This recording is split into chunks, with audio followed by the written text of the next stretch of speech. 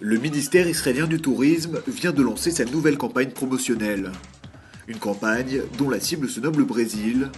Il s'agit d'une première dans un pays où le soleil et les plages ne manquent pas.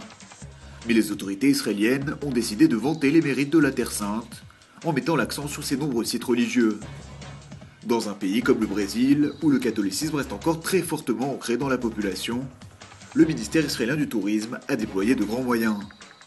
125 000 dollars vont ainsi être investis dans la communication auprès des médias et des agences de voyage. Un budget que les Israéliens n'ont pas l'habitude d'engager dans les pays d'Amérique du Sud. Sauf qu'en 2010, plus de 51 000 touristes brésiliens se sont rendus en Israël, soit une augmentation de près de 80% par rapport à l'an passé.